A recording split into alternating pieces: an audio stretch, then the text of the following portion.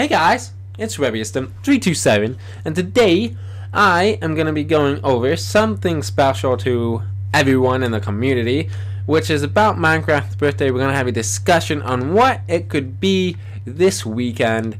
Uh, Minecraft's birthday is May 9th for Xbox 360 and it's going to be pretty epic to see what 4J Studios is going to be doing.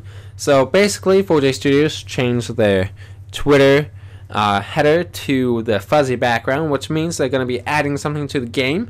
So you, uh, for the past few years, uh, they've added in the skin packs that we've gotten. We got a second birthday skin pack, and then we got the first Minecraft birthday skin pack, which is right there, as you guys can see. They added in a few nice skins, and it was pretty neat to see. And basically, um, this year we should be expecting another skin pack, but I do think that they will be adding something new to the game, most likely.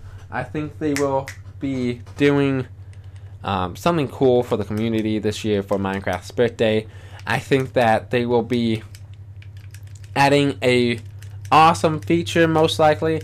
I think uh, this year we will be getting an update, uh, most likely um, it's going to be TU25, which is going to be uh, supposedly what they said was going to be a big update. So um, I think they will be adding command blocks, the stained glass, which those two are already in the game. Uh, you can get them right now. Command blocks don't work, but stained glass uh, they do work. And basically, I think they will be adding in a custom flatland uh, option that you can do, which they did say that they were working on earlier in the year uh, to Echo Soldier. So that's going to be pretty epic to see once that's implemented. But I think it's just going to be nice. Uh, it's either going to be update and a skin pack. It's either going to be a skin pack or it's going to be a skin pack, and they will be adding something most requested by the people, which are is either mods or servers.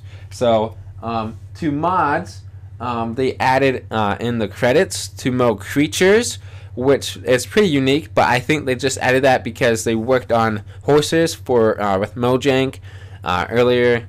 Uh, the 1.6 update when they added horses and Mo creatures helped them make it. So I think they were just when they added horses and they added that in to you know recognize that Mo creatures did make horses. So I think it's just you know paying tribute to Mo creatures for helping making horses uh, as required.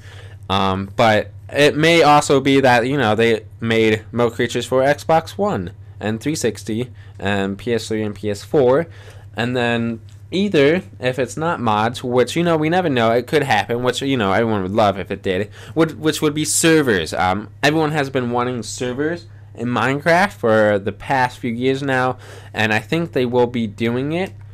It's been a really requested feature, and it would be really epic to see them add that to the game. So let me know what you guys think um, in the comments. What 4J Studios is going to be adding to the game. I think it's going to be pretty epic to see what they will be adding.